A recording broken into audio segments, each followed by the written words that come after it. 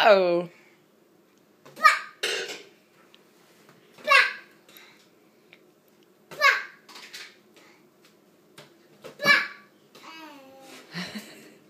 Look at my ducks on my head.